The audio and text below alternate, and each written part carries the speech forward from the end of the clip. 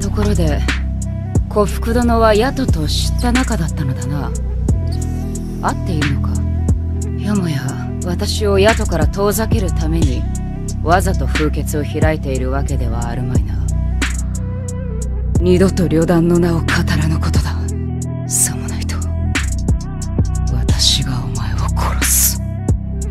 子ここでの生活は楽しい？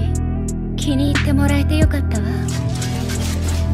お前は神でも悪魔でもないがただの人間よ。私はずっとお前と一緒だ。セルフィー！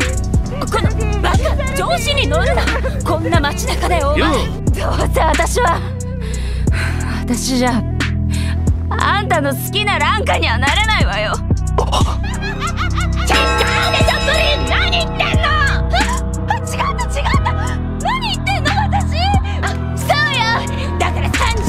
こっちへ来なさい。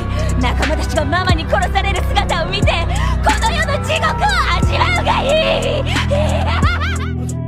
まさか。ジェース。ジエンドのボーカルサラシェンです。ところでさあんたなんか良くないことでもあったのか？息遣いや声色でわかるんだよ。ずっと悲壮感丸出しなんだよなあんたぬるがうちに見るおのみやわ夢と言わむ。儚きようもそういうことは気づいたところで黙っておくのが賢い生き方というものなんだよ。今までみんなそうして生きて